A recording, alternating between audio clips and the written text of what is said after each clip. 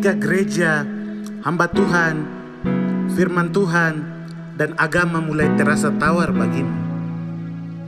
Just know that you are dying, my friend. Ketika budaya, adat istiadat, bahasa daerah mulai terasa kuno, ketinggalan zaman, kamu sedang mati, kawan. Ketika tanahmu diambil, hutanmu dieksploitasi, gunungmu ditambang sampai habis, dan kamu merasa masa bodoh ah. You are very dying, my friend. Ketika kamu terprovokasi dan membenci sesama orang Papua, bahkan saling membunuh.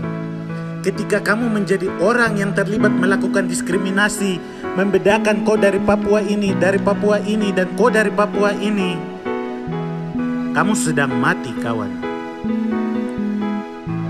Bukalah matamu dan hiduplah. Not to do anything, but do something for your humanity and for your small heaven, Papua. Pesan ini disampaikan oleh anak-anak pribumi Papua yang merasa bahwa Papua sedang mati.